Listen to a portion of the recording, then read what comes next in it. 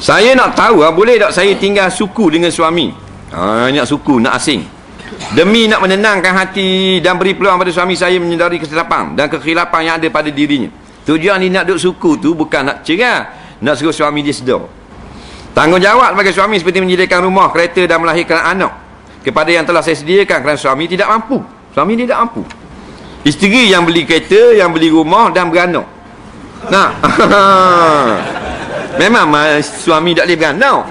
Nah. Ha. Siang ke bini dia, isteri dia, dia tak, tak mampu. Yang jadi krisisnya tergamuk suami saya berlaku curang kepada saya. Saya lah isteri yang halal, saya terkilang lah. Nah, lainlah sekiranya suami saya mampu dan nak tambah isteri, janganlah sampai berzina. Ha, tak apa, tak marah. Nikah lain. Nah, bagus mu. Tapi dia marah berzina. Nah, ha, main orang bujang lah budak. Dah lah mu tak ada piti bini mu beli belakang. Jahat kat orang lelaki gini. Nah, ha. Kini ustaz saya buntu. Tak mu aku pun buntu lah kalau gini. Ha. Tak berat mana pasal rumah isteri beli. Kereta isteri beli. Tolong beranak lagi. Nak. Dia pergi main orang puang, orang bujang, hotel-hotel. Bini dia kata, nikah ada ha. Ha, bagus. Dia pelik jahat ni.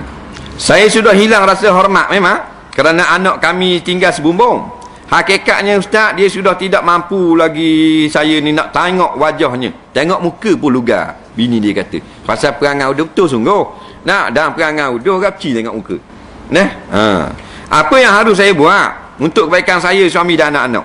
Kerana saya mampu dan berkepentingan dalam hidupnya. Dia telah meninggalkan perempuan itu. Ha molek eh?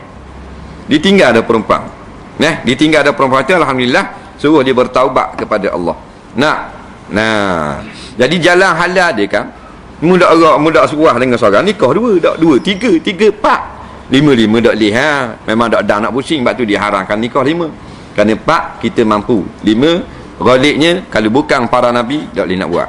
Nabi lima ratus pun tak ada masalah. Kerana dia bawah penjagaan Allah. Tak manusia biasa paling banyak pak sahaja. Nah, ha, tapi ni pelik ni. Dah lah basak teres. Sombong pula tu. Nak. Ha, jadi gitulah. Kalau kita sebenarnya kita sabar dan jangan duduk suku. Tapi masalah bila berzina, dah. Maknanya boleh kita minta fasah. Kalau kita tak ambuh dengan dia. Bapa atas dasar dia minta fasah. Suami suka berzina. Boleh minta fasah. Tapi kalau dia telah bertaubat kepada Allah, maka sebaiknya tak usah duduk suku lah. Nak, ha, kerana orang yang bertaubat ni maka kita beri peluang kepada dia. Nak, ha.